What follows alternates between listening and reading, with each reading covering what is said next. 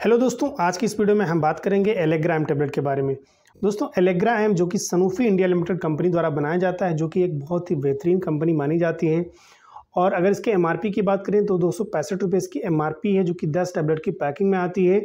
और अगर इसकी कंपोजिशंस की बात करेंगे तो इसमें फैक्सोफिनाडिन और मोन्टिलो कास्ट इसमें दो तरीके की दवाएँ डाली जाती हैं। दोस्तों, आज की इस वीडियो में हम बताएँगे कि इस दवा का इस्तेमाल किस किस बीमारी में और किस किस कंडीशन में लिया जाता है और इसका डोज क्या है, इसका साइड इफ़ेक्ट क्या है और इसको किस तरीके से लिया जाए, इसकी पूरी जानकारी देने वाला हूँ तो इस वीडियो को बिना स्किप के देख सकते हैं। अगर इसके बेनिफिट्स की बात करेंगे, इसके यूजेस की बात करेंगे तो ये एक एंटी एलर्जिक दवा होती है, जो कि तमाम तरीके की एलर्जी को ठीक करने के लिए इस्तेमाल में ली जाती है। लाइक like, अगर किसी को रनी नोज़ की दिक्कत है यानी कि नाक बहती है किसी की आँखों से पानी आता है या फिर स्टफ़ी नोज़ की दिक्कत है नाक में कंजेशन है स्टफीनेस है अगर किसी की आँखों में धूल गर्दा चला गया है जिसकी वजह से उसको आँख में एलर्जी हो गई है आँख से पानी आता है तो उस कंडीशन में एलेग्राम टेबलेट का इस्तेमाल किया जाता है। और अगर किसी के सीने में जकड़न है बलगम है सीटी की आवाज़ आती है घड़घड़ की आवाज़ आती है सांस लेने में तकलीफ़ हो रही है यानी कि उसको अगर धूल गर्दे से एलर्जी है तो उस कंडीशन में भी एलेग्राम टेबलेट का इस्तेमाल किया जा सकता है। अगर किसी को बहुत अधिक छींकें आती हैं, उसको साइनसाइटिस की दिक्कत है, नाक की कोई एलर्जी है, उसको बार बार सर्दी, जुकाम, नज़ला हो जाता है तो उस कंडीशन में भी एलेग्राम टेबलेट का इस्तेमाल किया जाता है।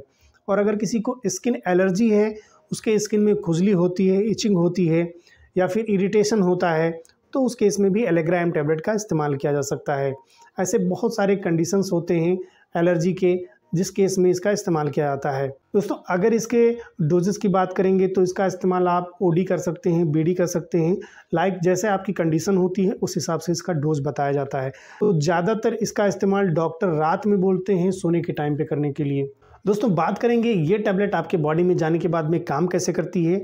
इसमें जो फैक्सोफिनाडिन होता है जो कि एक एंटी एलर्जिक दवा है। एंटी एलर्जिक दवा होने के नाते ये हिस्टामिन नाम के केमिकल मैसेंजर को ब्लॉक करता है, उसके रिलीज़ को ब्लॉक करता है, उसके अमाउंट को रिड्यूस करता है आपकी बॉडी से, जिससे जो एलर्जी की समस्या होती है वो ठीक हो जाती है। और मोन्टिलो कास्ट की बात करें तो मोन्टिलो कास्ट लिकोट्रियंस एंटागोनिस्ट दवा होती है, जो कि ल्यूकोट्रियंस नाम के केमिकल मैसेंजर को ब्लॉक करती है। जिससे जो स्वेलिंग होती है एयरवेज में इन्फ्लामेशन होती है, वो बिल्कुल ठीक हो जाती है। दोस्तों, बात करेंगे इसको लेने से आपके बॉडी पे क्या क्या साइड इफ़ेक्ट्स देखे जा सकते हैं। नाजिया वोमिटिंग डायरिया इसी तरह के कुछ कॉमन साइड इफ़ेक्ट्स होते हैं। दोस्तों, आशा करता हूँ इसके बारे में आपको पूरी जानकारी मिली होगी।